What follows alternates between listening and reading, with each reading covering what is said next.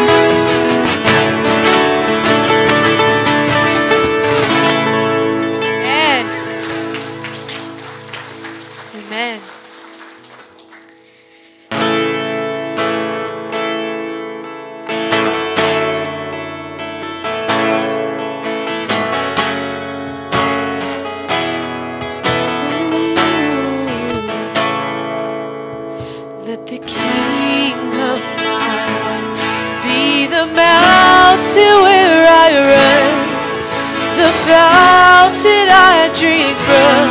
Oh, he is my song. Let the King of my heart be the shadow where I hide, the ransom for my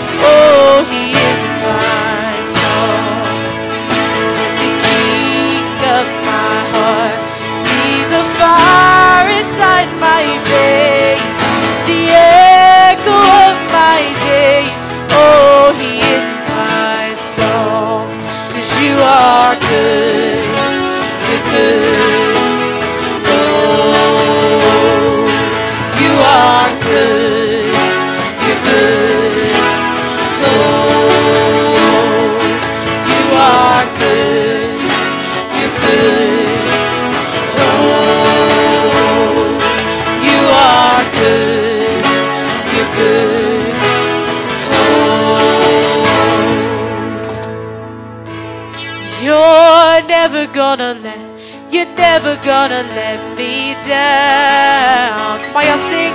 You're never gonna let, you're never gonna let me down. You're never gonna let, you're never gonna let me down. You're never gonna let, you're never gonna let me down. You're never gonna let, you're never gonna let me down. You're never gonna let, you're never gonna let me down. You're never gonna let, you're never gonna let me down. You're never gonna let, you're never gonna let me down. You are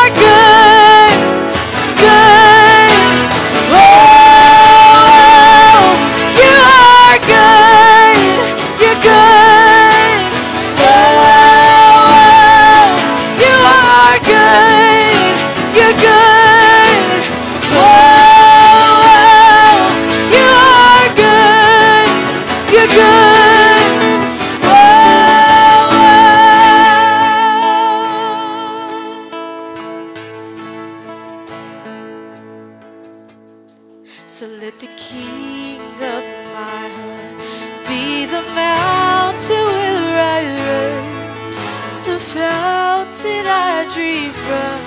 Oh, He is my song. So let the King of my heart be the shadow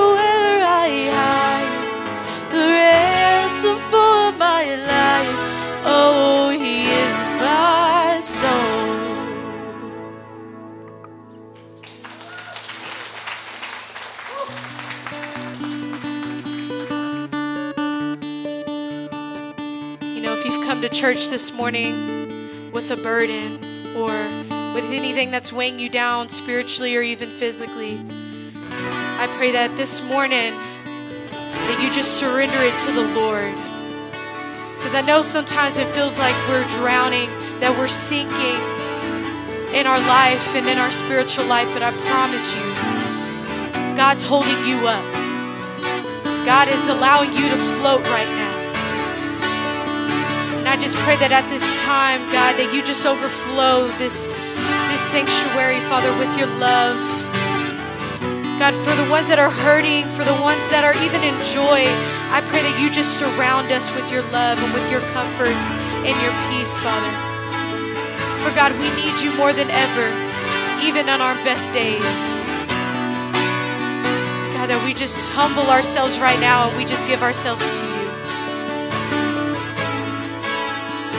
Let's sing this all together. Let's believe these words, Father, that you call me out.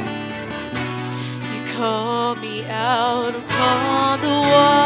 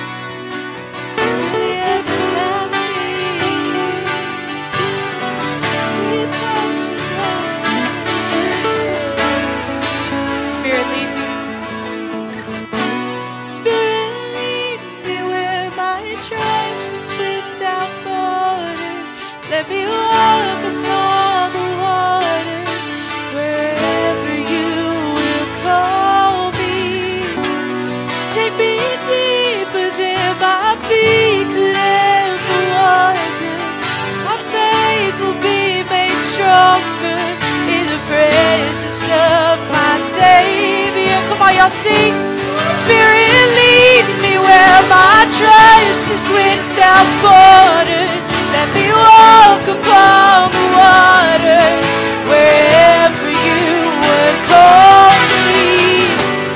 Take me deeper than my feet could ever wander. My faith will be made stronger in the presence of my Savior. Spirit, lead me where my trust is without borders walk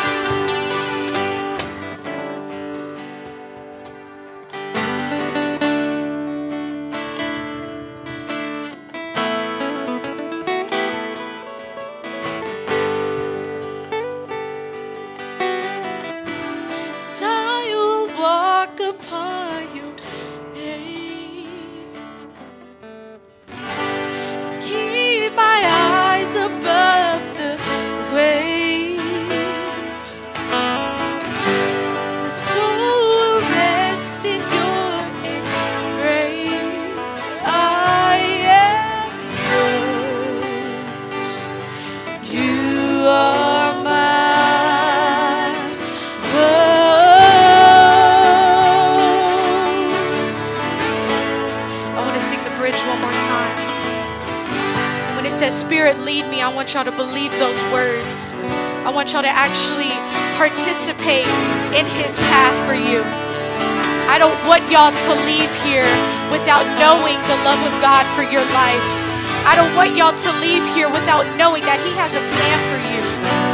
That God knows you and He loves you and He knows everything about you. So, what makes you think that you're not worth living in His path? God, God, that you just work in this place for each person. Father, that you just lead us in this house. So let's just seek Spirit lead me. Let's just sing it. Let's believe it from our hearts. Spirit lead me where my trust is without borders. Let me walk upon the waters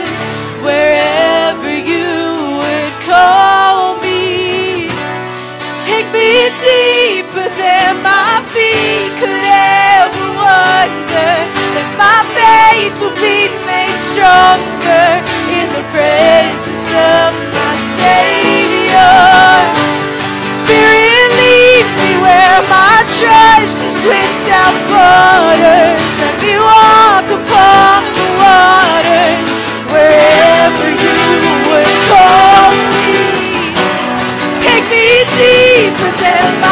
feet could ever wander. And my faith will be made stronger in the presence of my Savior. Spirit, lead me where my trust is without borders. Let me walk upon the waters wherever you would call me. Take me deeper than my feet could ever wander. Faith will be made stronger in the presence of my Savior.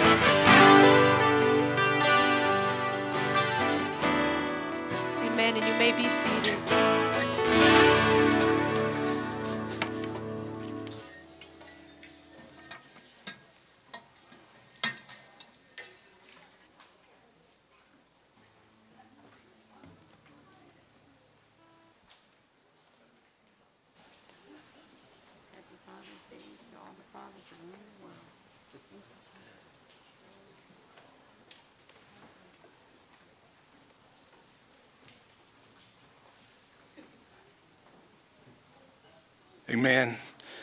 So thank you for participating today. And it's like a lot of you got the memo, but you didn't get the full memo. I said all men could dress themselves today. I mean, I went all out.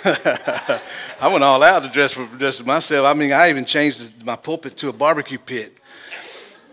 You know the crazy thing about life. Let me ask you: If you didn't get a ticket, and you guys didn't get a ticket, we want to make sure you get a ticket. Did anybody not get a ticket? All the guys? Okay, Eric Blair, he snuck in the back. Give him a half a ticket. so, for, for some of you that came in after the service started, uh, when church is over with, we're going to do a quick raffle. I'm going to raffle off these two wonderful Walmart barbecue pits that you, like I mentioned, that you can only cook hot dogs and hamburgers on. I got a few, a couple of gift certificates to uh, Cracker Barrel, and then I've got, um, I got a, a real man's barbecue setup to give away to one of you. You're either going to like me or you're going to turn into a man when you get this, because you can't help but upgrade your barbecue pit.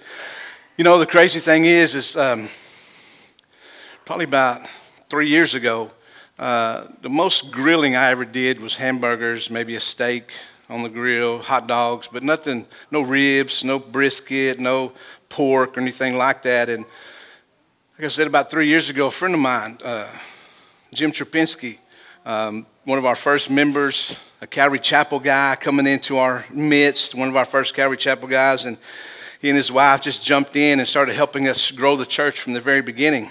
And uh, oh, Jim had had a smoker made. You, you've seen it. That was his smoker out there when you walked by.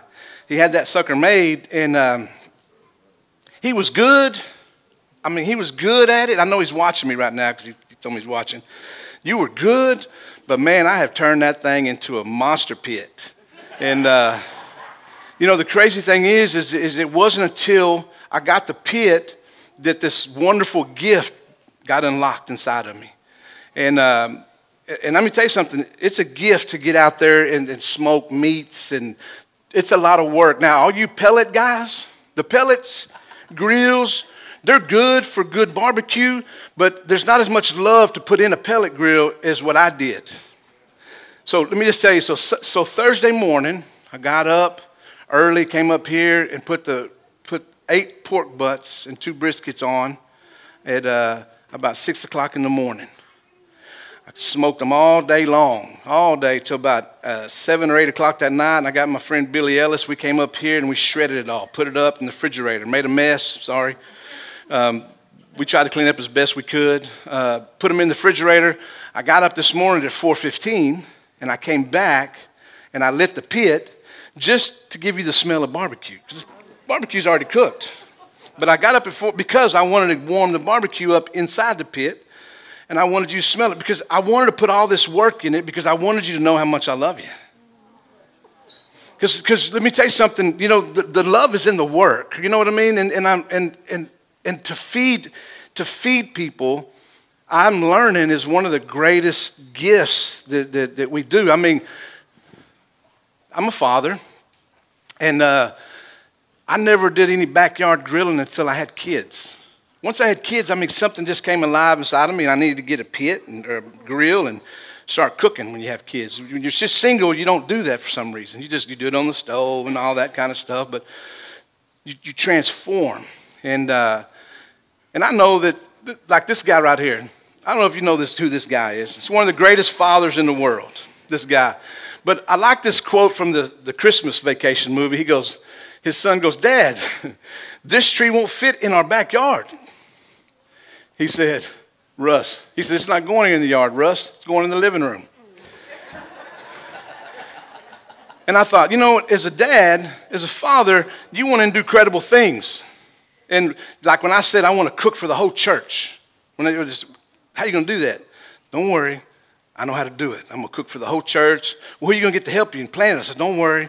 I'm going to work it out. I'm going to do it. I'm going to do what I got to do. And, and we're going to figure it out and make it simple. Because matter of fact, you can still go out to eat after you eat one of my pork sandwiches. Because I made it so you can either take it to go. It's, it's like an appetizer now, if you stick around and get a second one, if there's enough, you can get full. But I'm hoping you just get you an appetizer, know what I can do, and then if you need to go still, you're still early enough to go to the restaurants because we're it'll be 11 o'clock before when you're done eating. And um, and so I'm just I'm, I'm, I'm setting this up because as a father and as a man, I want to set a certain standard. I just want to set a certain standard for my life and for the people in my life. I just want to make sure I set a standard. But before I can make a standard, I gotta, I gotta make a declaration for life. And uh,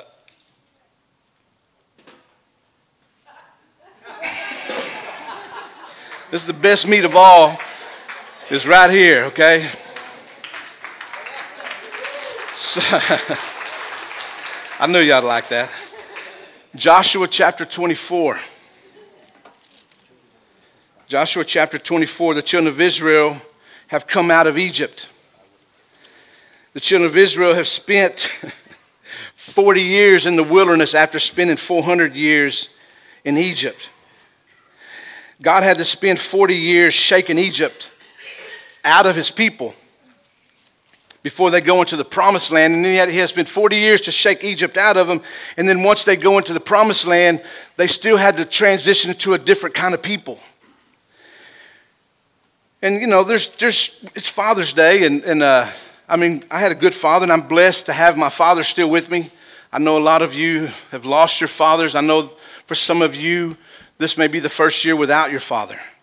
And, uh, and I, I'm sorry about that. I, my heart hurts for you, and, and it's Mother's Day and Father's Day is very difficult for me because I know that I'm blessed, but I also have walked through so many with so many people who've lost their fathers and their mothers over the years, and, and I understand the pain and, and hard, how hard it is on this day.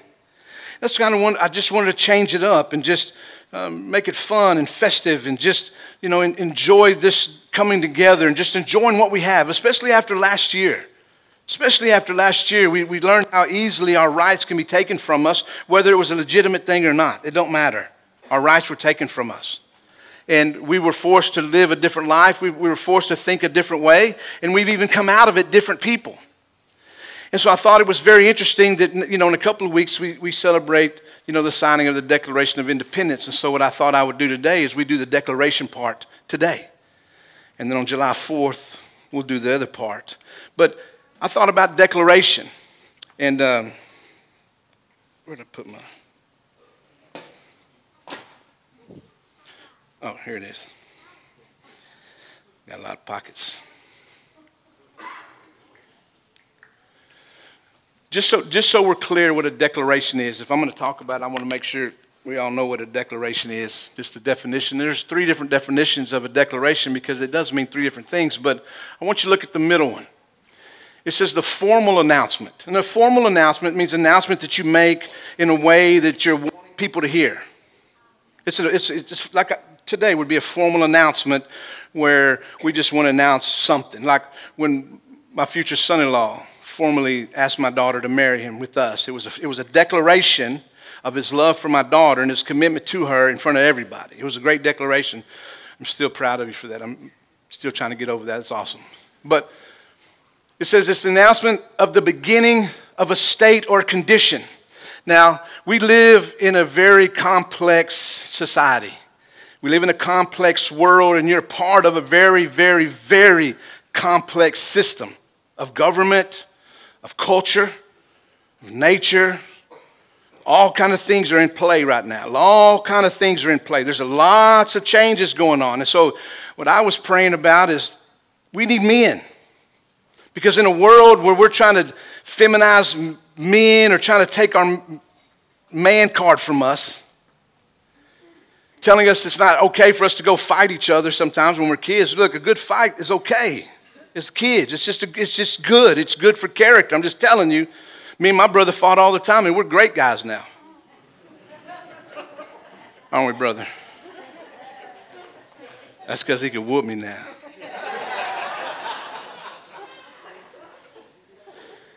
But listen, we, we need men.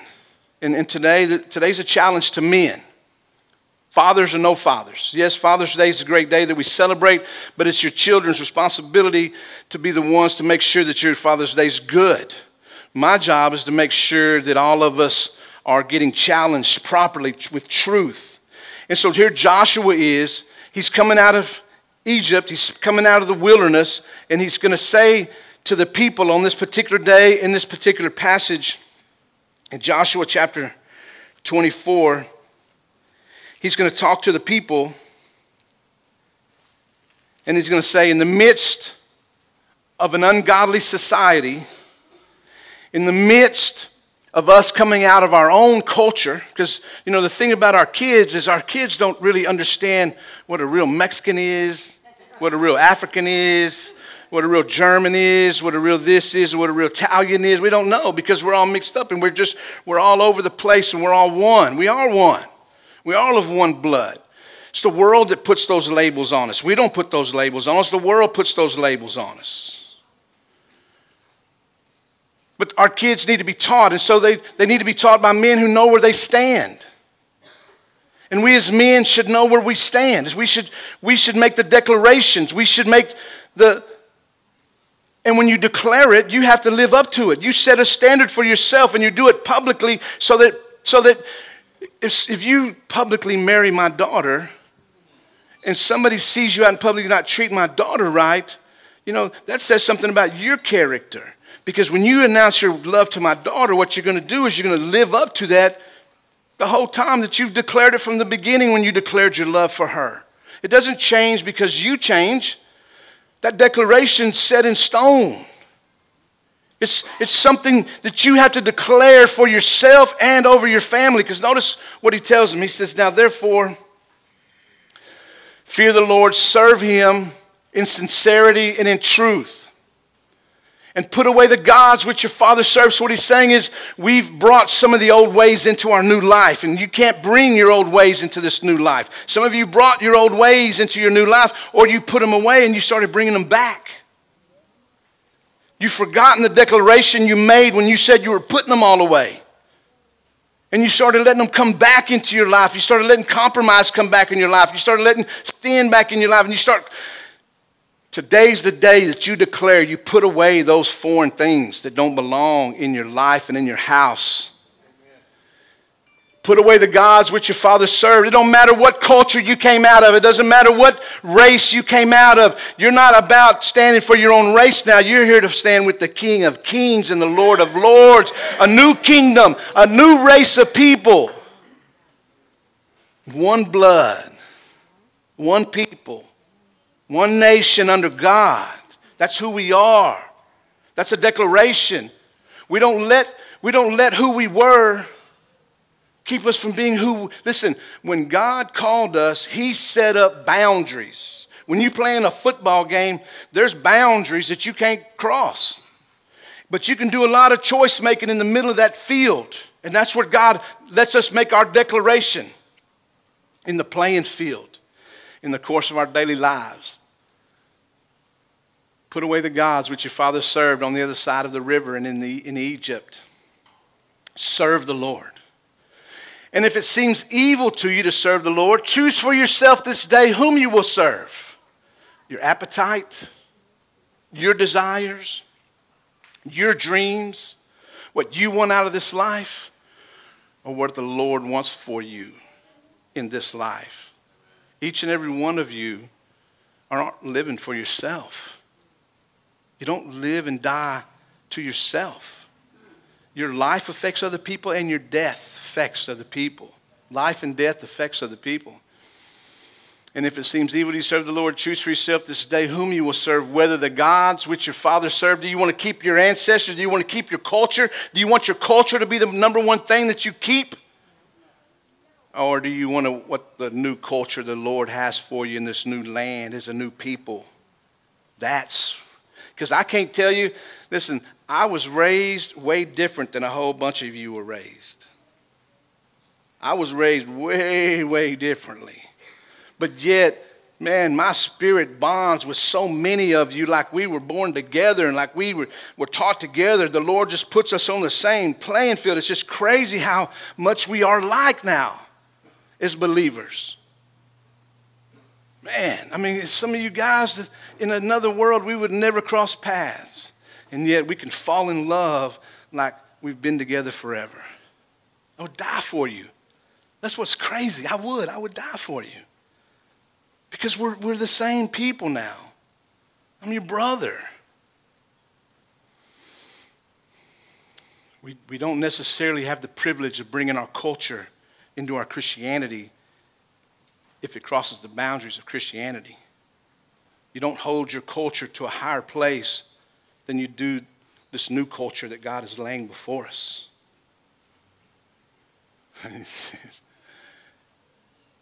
or the gods of the Amorites, in whose land you dwell.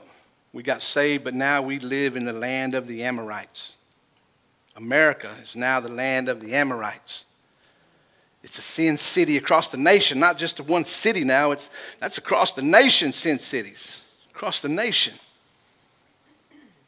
But look what Joshua, he makes this declaration. He stands up at the door of his house and he makes this declaration. He said, Before me and my house, we Notice he, he, he says he includes all those in his house. We will serve the Lord. He's making a declaration. He's going to be the man of that house, and that's what's going to take place in that house. Every single man over his house doesn't mean that you're a chauvinist pig. My wife's the most privileged person in our house because I stand in charge, because I make the rules. I love my kids, I'll give them space with me, and I'll have patience with them, but it's my house. I make the declarations. And today I declare that as for me and my house, we're going to serve the Lord. What that looks like, that's between you and the Lord. It's going to look different for everybody, that serving the Lord part. That's, that's going to be different for everybody. We all have our different little, you know, areas that we live in, but, and I'm not here to live your life for you. But you let you and your relationship with the Lord make sure when you stand before the Lord, because in Ecclesiastes chapter 11, rejoice, O young man, in your youth and let your heart cheer you in the days of your youth. Notice he's sounding like enjoy being a kid. Walk in the ways of your heart. Listen, kids, this is the Lord speaking to y'all. Rejoice, O young man, in your youth, and let your heart cheer you in the days of your youth. Walk in the ways of your heart. Do what you want to do, and in the sight of your own eyes. But know that for all these, God will bring you into judgment. Therefore, remove sorrow from your heart and put away evil from your flesh, for childhood and youth are a waste. Because you turn into adults and you got to pay bills and you got to take care of business and you got to pay taxes and obey traffic signals and drive the circle around idiots and all that kind of stuff as adults.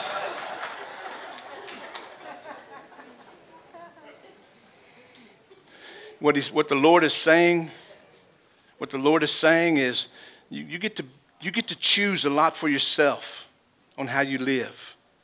Because you know, because your parents try to tell you to do one thing and you fight with them to do something else. So you know, that's what the Lord is saying. But he says this, that one day you're going to grow up, and if you're not careful with the decisions you make right there, you're going to be at this altar crying like you see people do a lot of times. Because the choices they made in their youth bring them to the altar because they got on the wrong trail, on the wrong path. And there's, now there's got to be redemption and all that hardship and dealing with the cost of sin. And um, it don't have to be that way. It don't have to be that way.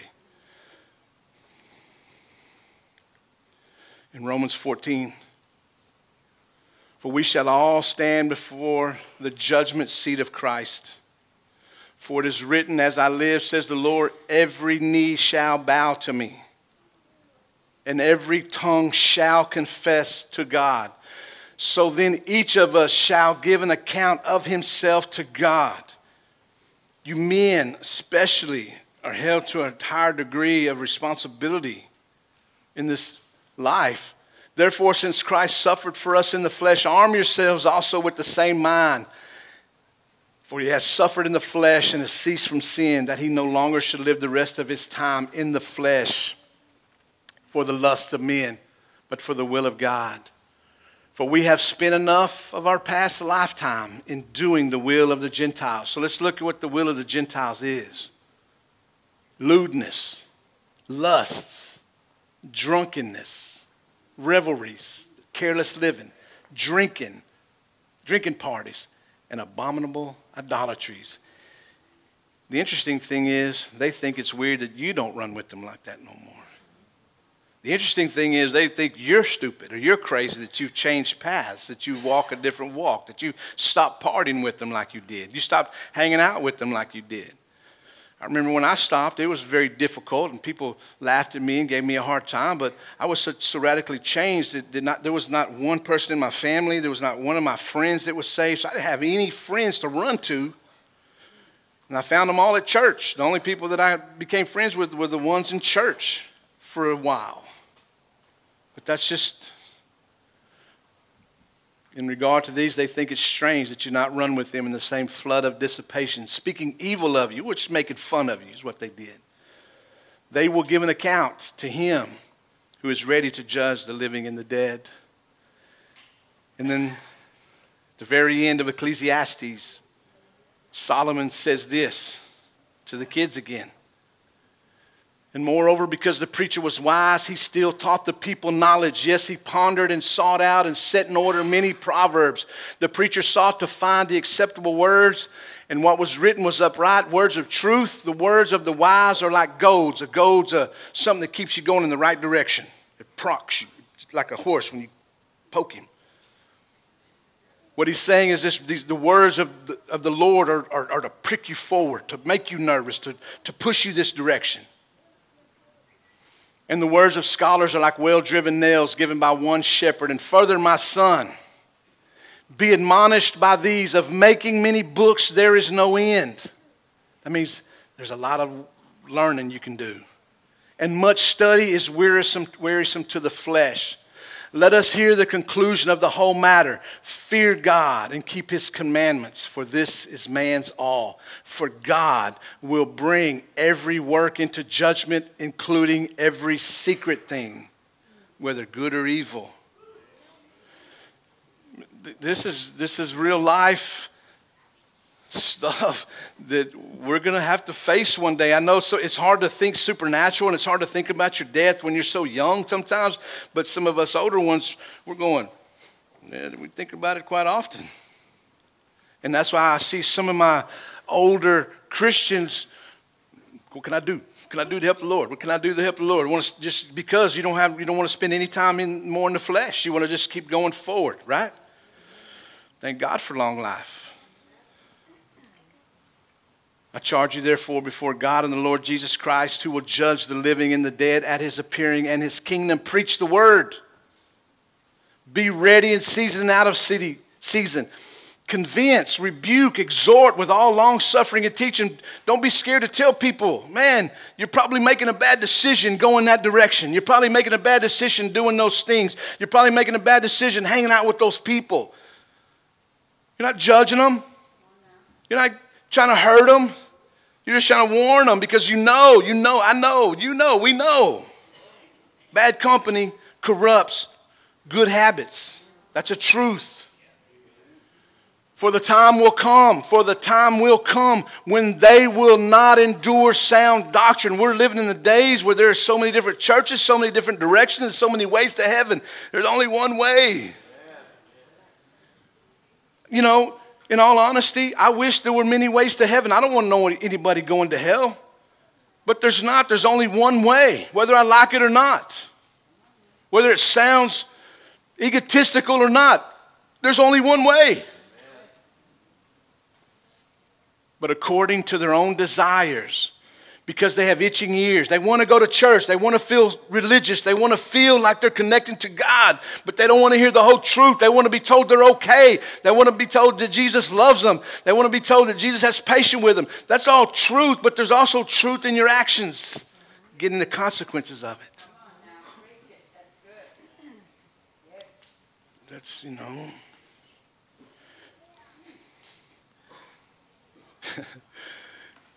you know, It's just, it, it, it, I'm nervous because I know that, that, that, people die all around me. And I know that nobody lives forever. And, and it just, just saddens my heart to know that there are people dying and going to hell when they don't have to. People that sat in churches, that's the hardest one because they sat and they listened to these guys. They said, who will turn their ears away from the truth and turn aside to fables. But you be watchful in all things. That's what a father tells. That's what a man tells the people under his responsibility. He's, he tells them the truth. But be watchful in all things. Endure afflictions. Do the work of evangelist. Fulfill your ministry, man. Stand guard over your house. Stand guard, you men over your house. Because at the end, we're each responsible for our own load. Listen, I know that Father's Day is, is, um, is a unique day. I mean, I feel special already, you know, just, just being me. And um, I'm thankful for what God has done. But let me tell you, some of you guys who've not been good fathers. Instead of letting the devil tell you that you've been a bad father because that's the devil's job to tell you you've been a bad father. It's not your family's friend. It's not your family's or your kids' job to tell you you're a bad father. That's the devil's job to tell you bad father. He's the accuser of the brethren, not us. But I tell you this that even Samuel, his boys went astray. Elijah, I mean, uh, Eli, the, the priest that uh, prayed for Samuel, his kids went astray. Aaron, the first priest that God anointed, his sons offered profane fire and God killed them. King David, his first three sons were all over the place. Even Solomon's son, after he comes, is going to split the kingdom. Adam, the first man, his first two sons, one killed the other. God, the father of Abraham, Adam, I mean, the father of Adam, Adam failed. And the interesting thing was when the Lord came into the cool of the garden and Adam and Eve were both hiding, it was Adam's name that the Lord called. It says it's in Adam that all die because of what Adam did, not Eve. Because what Adam did, he didn't take his post, he didn't stand guard. He didn't stand guard over his wife and he let his wife rule the roost. He didn't take charge. And, and next thing you know, he condemned us, not Eve. It says she was deceived, not the man. So today, we have responsibility, guys. We need to make declaration and declare it today. I declare that as for me and my house, we're going to follow the Lord. And if you do that, men, you may not know all that's, that comes with that. God will be patient with you and work it out, but you got to first declare it Amen. before you can walk it out. And if you declare it, you're more likely to live up to it, to strive to live up to it. I knew that when I was called, I didn't know what that was going to look like. I didn't know where that was going to leave me, but I said it from the very beginning I'm called, I'm called, I'm called, because I knew it. And I said it, and I confessed it, and I declared it. And so I've chased it, and I've pushed through with it, and I've got to the point where I feel like, man, God, you got me ahead of the game. But I'm thankful for my position so that I can challenge men. Step up to your position the God ordained position. God ordained position. Women have their place, very special, very powerful place. Very powerful place. But men also carry a very powerful position, different than the wife, different than the women. And we both need to understand our roles, but especially the men, because each man is going to stand before the Lord with his own load. And you single moms teaching these young men, you make sure that you hang out with the right kind of men to help you with your men if you can. Amen? So, what I'm going to pray is I'm going to pray that you feel and inside your own heart, right where you're at, men, you declare, as for me and my house, we're going to serve the Lord. You make that declaration, you pray that prayer and then uh, we'll move into the good stuff. Lord, we thank you for this day. Father, I pray for every man in here, Lord God, and for every man who's willing to make a declaration. Lord, I pray that in their heart right now, Lord God, you can hear him and see him. And Father, I challenge every man right now that's making that declaration to stand up before you and before this congregation to make that declaration. Go ahead, man. Stand up. Make that declaration in your heart. You standing up is you making that declaration in your heart to be the man that God has called you to be so that you can take guard over your house. God needs men because, listen, I'm so thankful for the men in this church because a lot of churches have a lot of women that do a lot of work, and I'm thankful that I'm trying to outwork all the women. But today is the day that we make a declaration as for me and my house, I will serve the Lord. And, and, and your girls and your wives and your women around you, hold these men accountable to that. Because for, for the sake of truth and what's coming in this world, we're going to need to be together in one one accord in our understanding of our, our position of Christian men. So, Father, I thank you for these men that have made this declaration. And, Father, I ask you to bless each and every one of them. And, Lord, that you would just continue, Lord God, having patience with us, challenging us, and moving us forward. And we thank you for that. In Jesus' name, amen. Amen. So, everybody, sit down for just a second. I'm going to bring these tickets up here, and then once I get, once I give this stuff away, all you guys with your Hawaiian shirts, y'all come up here. We're going to get a picture and uh, show the rest of the world how cool we are. All right, so men, get your tickets now. Just real quick, stand up, Patrick. Stand up, Patrick. Turn around. Yeah. So let me just let me. Oh, whoa, whoa, whoa, whoa, whoa, whoa, whoa, whoa, whoa! Don't clap. Look, look. This guy's from Pennsylvania. I just to say right off the bat. First thing, when I said I want a Texas style barbecue, this is what he thought a Texas style barbecue was, apparently. So, just so you know, you get one mulligan, and today's your mulligan. Hey, but look, but you can. I'm gonna go ahead and give you this because I need to man you up for, for having the courage to do that. All right, sit down, man. All right, everybody got tickets. Here we go. All right, here's the first ticket. Uh, 470, the last three numbers, 470. 470. Baha. Gift certificate. Yeah. All right, the next one is 551. 551. 551. There we go. All right. You visitor? This is your first time? Oh, he's from Maine. Oh, welcome, welcome to Texas, man. Check Golden Corral from Maine. All right, 481. 481. Yeah. This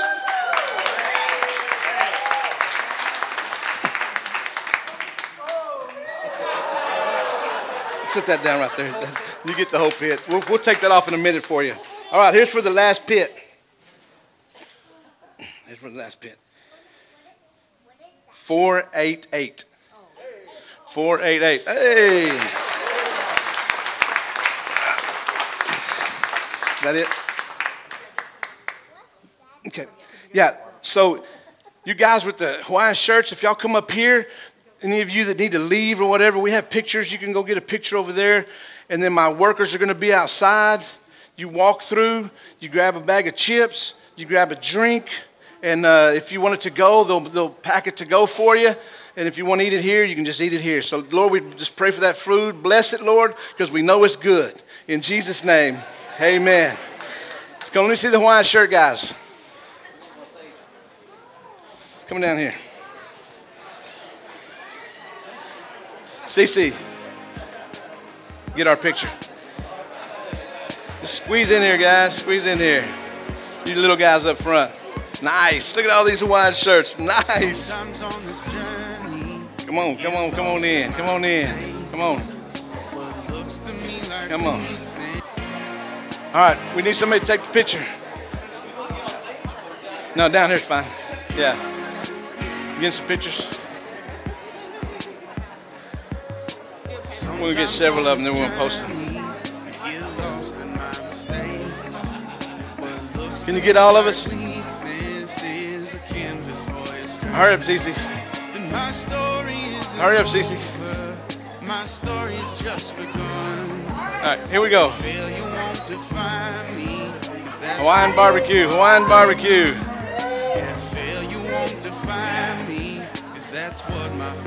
All right, thank y'all. All right. Go get fed. God bless you. Happy Father's Day to you, bro.